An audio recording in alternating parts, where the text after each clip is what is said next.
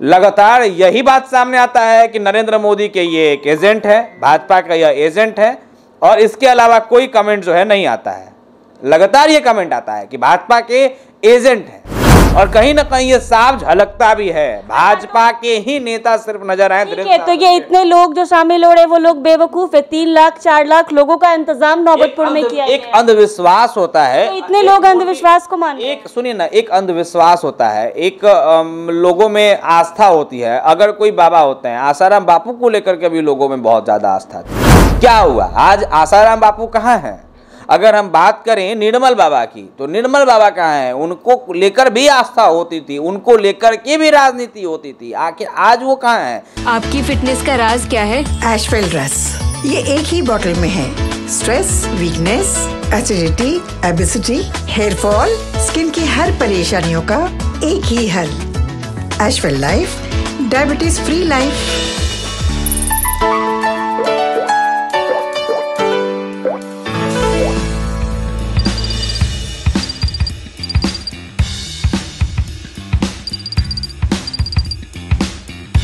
नमस्कार आप देख रहे हैं एनबीसी 24 और मैं हूँ आपके साथ मानसी। बागेश्वर धाम वाले बाबा आज पटना पहुँच चुके हैं। उनके पटना आगमन को लेकर काफ़ी समय से राजनीति जो थी, वो काफ़ी जोरों शोरों पर चल रही थी। बहुत विरोध के बावजूद आज धीरेन्द्र शास्त्री पटना पहुँचे हैं। बता दें कि एयरपोर्ट पर उनका भव्य स्वागत किया गया है। उनके साथ मनोज तिवारी भी मौजूद थे और साथ ही साथ गिरिराज सिंह भी मौजूद थे। बता दें कि उनके आगमन को लेकर राजनीति बहुत जोरों पर थी तो तेज प्रताप यादव ने विरोध किया था।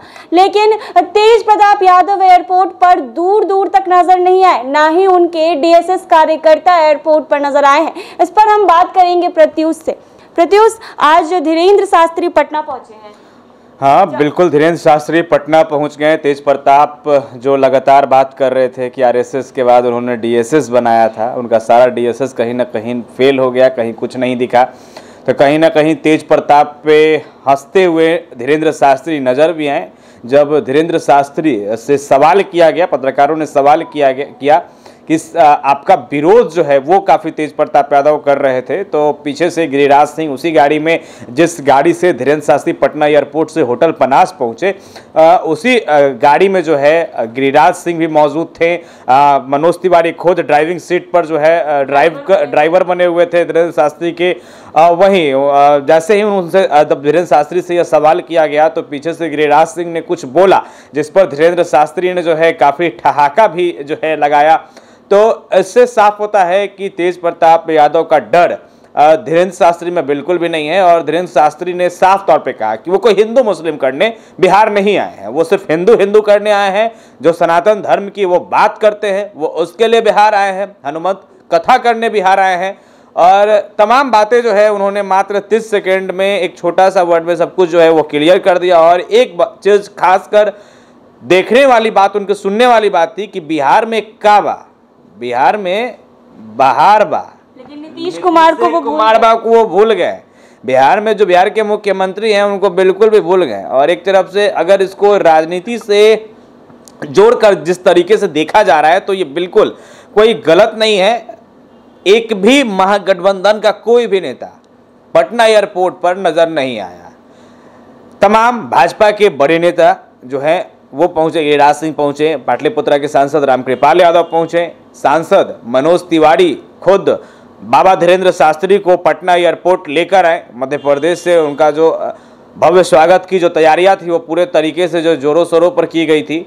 और अर्ली सुबह, यानी कि सुबह आठ बजे ही कहीं ना कहीं धीरेन्द्र शास्त्री को जो है पटना एयरपोर्ट से लाकर सीधे होटल पनास को जो है, के लिए रवाना कर दिया गया। कहीं ना कहीं ये इसलिए कर दिया गया कि कहीं भीड़ ना हो जाए, क्योंकि धीरेन्द्र शास्त्री जहाँ ही पहुँचते हैं, उनके समर्थकों में काफ़ी उल्लास रहता है, उत्साह रहता है, और इन तमाम चीज़ों को देख करके, लेकिन तेज प्रताप यादव नज़र नहीं है इस पर तो राजनीति जो है काफ़ी गर्म है। अब सवाल लगातार भाजपा वाले नेता करेंगे कि आखिर गए तो कहाँ गए ये तेज प्रताप यादव? जो लगातार ये कह रहे थे सेना बना रहे थे धीरेन्द्र शास्त्री को घुसने से मना कर रहे थे तो अब तेज प्रताप यादव जो है अब लगातार घिरते हुए नज़र आ रहे हैं। क्या लगता है धीरेन्द्र तेज प्रताप यादव धीरेन्द्र शास्त्री को डराने की कोशिश कर रहे थे लेकिन वो नज़र नहीं आए ना उनके कार्यकर्ता नज़र आए तो इससे क्या साबित होता है कि तेज प्रताप यादव खुद डर गए क्या?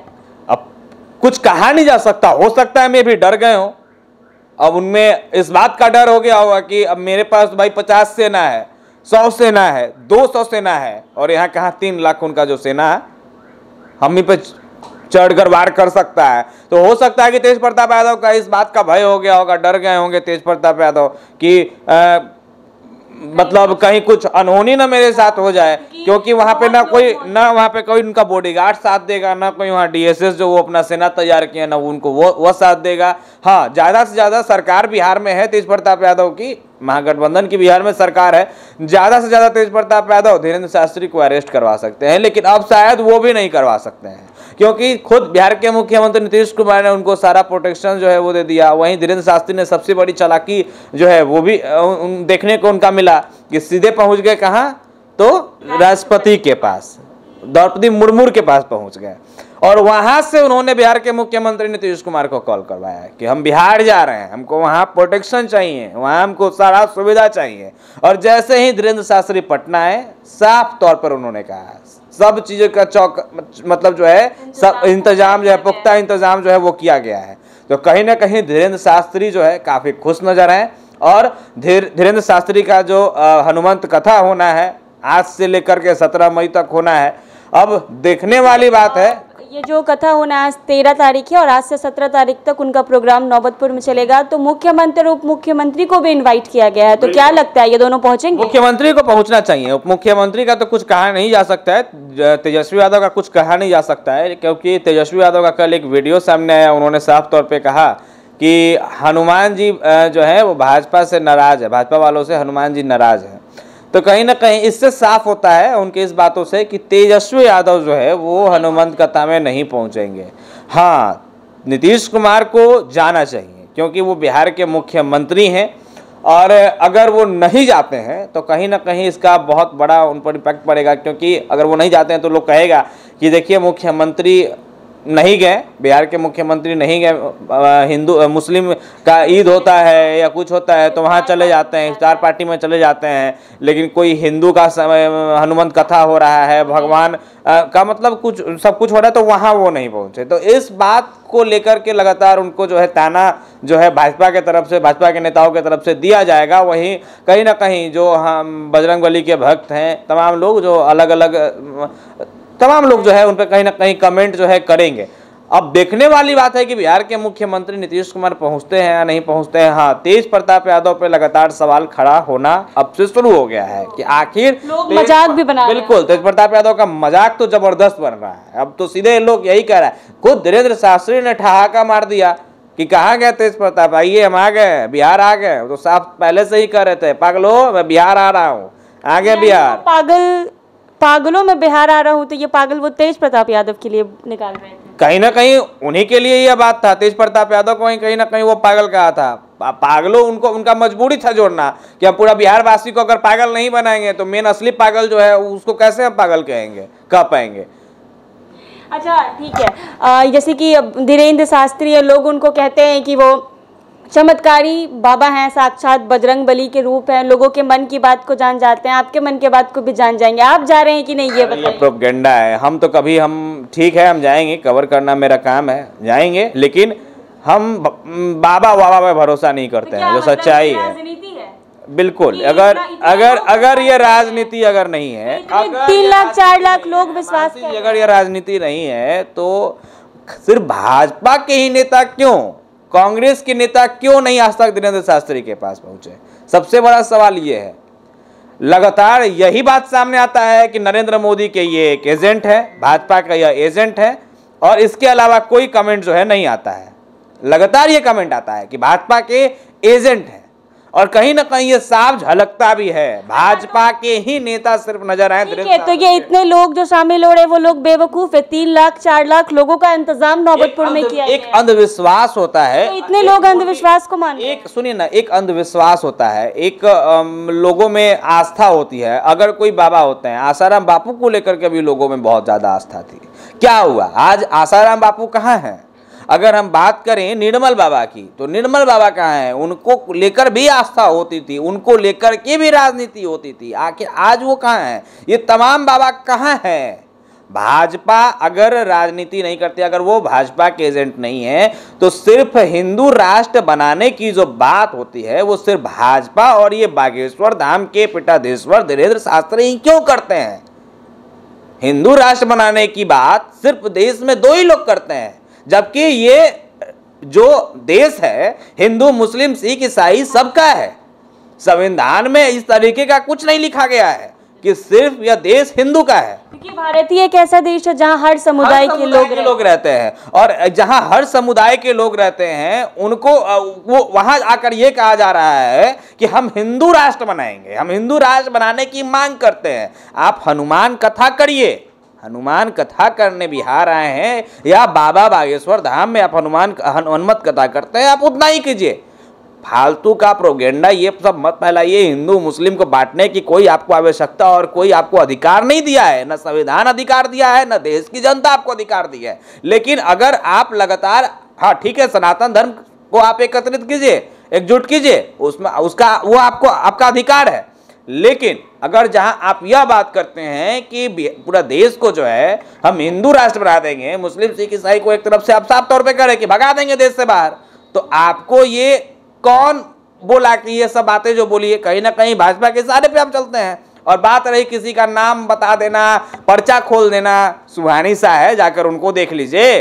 बहुत ऐसे पढ़े लिखे लोग हैं जो आपको बैठे बैठे आपका चेहरा पर के फेस रीडिंग करके आपको हर कुछ आपके बारे में बता देंगे। और नाम वाम बताना ये कोई बहुत बड़ा नहीं है। मन का बात तो बैठे बैठे यहाँ पटना में कितना लोग है जो बता देगा आपका कि मन मन का आपके मन में चल क्या रहा है। और आपसे सवाल करके लिख के पूछ लेगा कि यही बात चल रहा था मन में?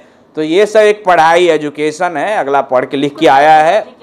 साइकोलॉजी इसको कहते हैं। तो कहीं ना कहीं फालतू बात है। कि हम हिंदू राष्ट्र बनाएँगे। मतलब देखा जाए तो आजकल राम नाम पर भी राजनीति हो रहा है। जय श्री राम के नारे लगा लो और राजनीति अगर राम अगर देखिए भगवान का नाम को तो बिल्कुल बदनाम कर दिया गया है देश में। भारत देश में भगवान का नाम को इतना बदनाम किया जा रहा है। राम जय श्री राम जय श्री राम नाम मतलब राम के नारे को इतना ज़्यादा उछाला जा रहा है इतना ज़्यादा गंदा किया जा रहा है। राजनीति इतने गंदा गंदी हो रही है देश में कि इसका कोई हद नहीं है। भगवान का नाम इस तरीके से उछालना कहीं ना कहीं बेहद गलत है। भगवान का मन में नाम आदमी को लेना चाहिए। न कि बस जय श्री राम जय श्री राम अरे यार, क्या है जय श्री राम हाँ? भगवान का नाम है, भगवान का नाम लीजिए, मन में लीजिए, आस्था दिल में होना चाहिए। उस पर राजनीतिक कर से जोड़ा जा रहा है, जय श्री राम के नारे को। हर जगह जोड़ा जा रहा है। कौन ऐसा जगह है जहाँ भगवान रंग को जो है खराब नहीं किया गया? हर जगह खराब किया गया। हिंदू मुस्लिम सिख ईसाई हिंदू मुस्लिम सिख ईसाई आज गिरिराज सिंह का बयान क्या आया है? आपने सुना है कि, कि बाबा यहाँ हिंदू राष्ट्र नहीं बनाएँगे तो क्या पाकिस्तान और मक्का मदीना में जाकर बनाएँगे? वहाँ जाकर हिम्मत है वहाँ बैठ के बोलने का? है?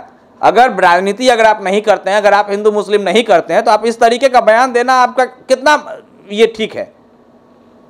आप पाकिस्तान के नाम पे भारत देश के मुस्लिमों को एक तरह से गाली देते हैं पाकिस्तान और मक्का मदीना नाम का लेकर भारत देश के आप मुस्लिमों को गाली दे रहे हैं तो कहीं ना कहीं ये बहुत गलत है। इसका विरोध हर इंसान करता है और करता रहेगा। हिंदू राष्ट्र बनाने की बात करते हैं ये बिल्कुल गलत है। जिस देश में हर समुदाय के लोग हैं हर जाति के लोग हैं हर धर्म के लोग हैं आप उस जगह पे आके कह रहे कि हिंदू राष्ट्र बना देंगे कहाँ से सही आप खुद अपने अपने दिल से सोचिए। आप तो एक खुद ब्राह्मण है।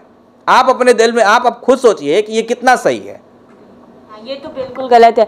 तो बाबा पंद्रह तारीख को पर्ची निकालेंगे और लोगों के मन के बात को जानेंगे तो उस दिन वाकई सच्चाई पता चलेगी कि ये बाबा चमत्कारी है या नहीं। देखिए, बाबा का चमत्कार तो उसी दिन सब कुछ क्लियर हो गया। जब एक पत्रकार उनके सामने नकमस्तक हो रहा था, जब सब उसी दिन सब कुछ क्लियर हो गया, जो उसका फेसबुक पे सब कुछ जो है, एक पत्रकार का नाम नहीं लेना चाहूँगा, सब कुछ अवेलेबल था।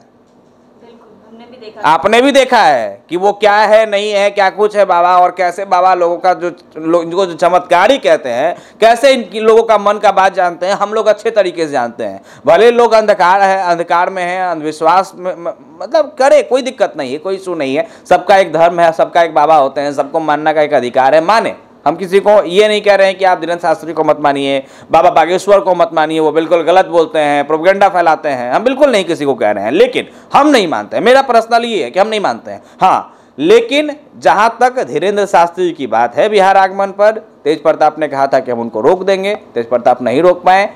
धीरेन्द्र शास्त्री पटना पहुँच गए, नौबतपुर तरेत पाली पहुँचेंगे शाम को चार बजे से लेकर सात बजे तक हनुमंत कथा कहेंगे लोग सुनने जाएँगे। बात रहा हिंदू मुस्लिम का तो उन्होंने साफ़ कर दिया कि हम हिंदू मुस्लिम करने नहीं आए हैं बिहार।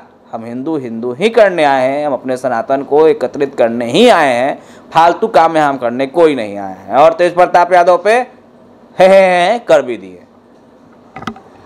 तो आपने देखा कि बागेश्वर बाबा जब बिहार आए तो उनसे सवाल किया गया तो उन्होंने जवाब दिया कि बिहार में बाहर है और साथ ही साथ उन, उनसे जब पूछा गया कि बाबा विरोध किया जा रहा है कि आप हिंदू मुस्लिम करते हैं तो उनका जवाब ये आया कि हम हिंदू मुस्लिम नहीं करते हैं हम सिर्फ़ हिंदू हिंदू करते हैं। आपको बता दिए कि बाबा बागेश्वर पटना पहुँच चुके हैं, तीन बजे से नौबतपुर में उनका कार्यक्रम जो है वो शुरू होना है तो उस वक्त वो वहाँ पहुँचेंगे और सत्रह तारीख तक जो है उनका प्रोग्राम वहाँ पर चलेगा और पंद्रह तारीख को वो पर्ची निकालेंगे और लोगों के मन की बात को जानेंगे। तो ये वाकई पता चल जाएगा कि वो चमत्कारी है या नहीं। तब तक के लिए बने रहे हमारे साथ एन बी पर।